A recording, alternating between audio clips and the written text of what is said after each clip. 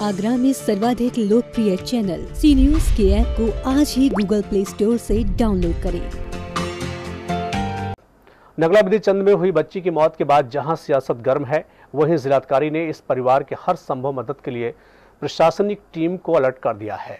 इस मामले में जिलाधिकारी का कहना है कि अगर ज़िले में ऐसी कोई भी घटना होती है तो उसके लिए सीधे ग्राम प्रधान और ग्राम विकास अधिकारी की ज़िम्मेदारी होगी और जवाबदेही तय होगी।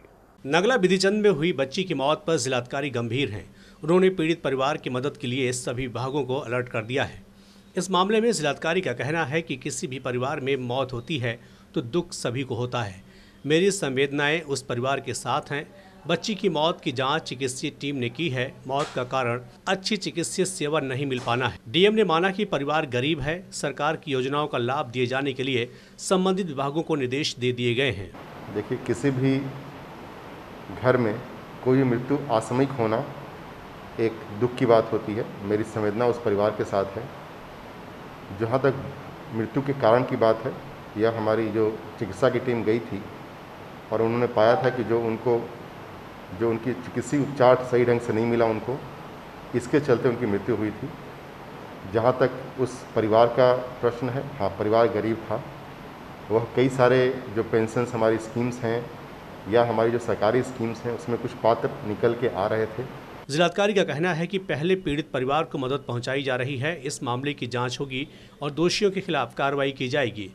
डीएम ने कहा कि पंचायती राज व्यवस्था में ग्राम प्रधान और ग्राम सभा सचिव सीधे जिम्मेदार होते हैं। उनकी ज़िम्मेदारी है कि हर एक परिवार पर निगाह रखें और जरूरतमंद को सरकारी योजनाओं का पूरा लाभ दिलाने के लिए सभी औपचारिकताएँ पूरी कराएँ।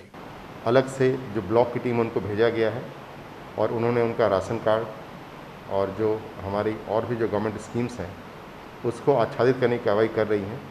सर्वप्रथम हम उनको ये सब आच्छादित करके, इसके बाद देखेंगे अगर कहीं किसी किसी जगह से गलती भी हुई है बिकॉज़ हमारे इस पंचायती राज व्यवस्था में ग्राम प्रधान और सचिव चूँकि वो गाँव में रहते हैं और उनकी ज़िम्मेदारी है कि यह सब सशक्त सारे फॉर्म जिसके भी पात्र हैं, वह भर के हमारे पास आ जाए, उसको चेक करा के उसके बाद उसको देखा जाएगा। आपको बता दें कि नैनाना ब्राह्मण के नगला विधिचंद में दलित परिवार की बेटी सोनिया की मौत इलाज के अभाव में हो गई थी, जिस पर कांग्रेस महासचिव प्रियंका गांधी से लेकर सपा महासचिव रामजीलाल सुमन और कांग्रेसियों ने सरकार पर सवाल उठाए थे।